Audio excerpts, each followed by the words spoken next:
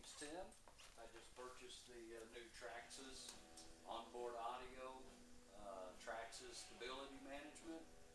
It's supposed to be uh, just like the series of the the Ultimate and the uh, Platinum with the CG chassis. Let's see what we got.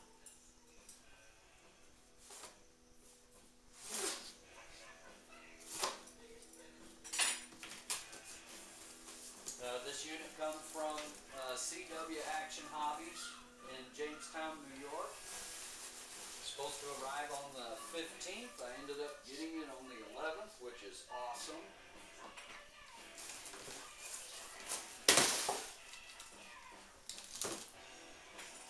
Before I open it, looky there. Is that a pretty sight or what?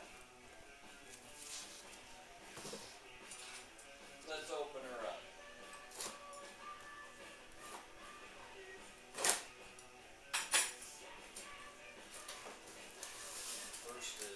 Styrofoam. We don't need that. There it is. Look at that. That's pretty cool. A one tenth white Traxxas. See what the underneath looks like. Pretty clean. Now let's see what this big fuss is all about with the electronics. Can't wait to hear that 900 horse sound. I like the body.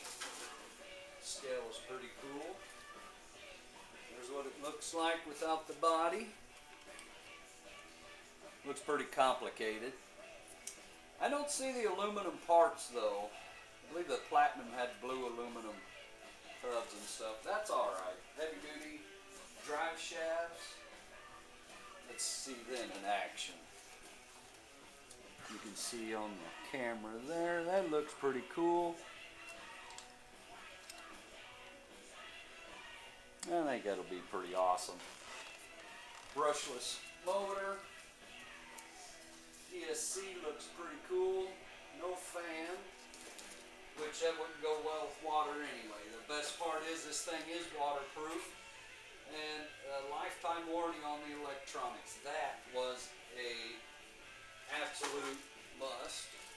So I will register that when we're all done here. Got a bag of stuff, stickers, shocks, and the uh, battery charger.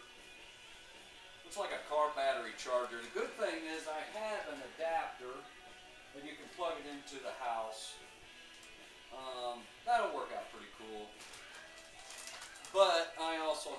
High-tech four-port charger, uh, the balance, all that, so probably won't even use that. And looks like the remote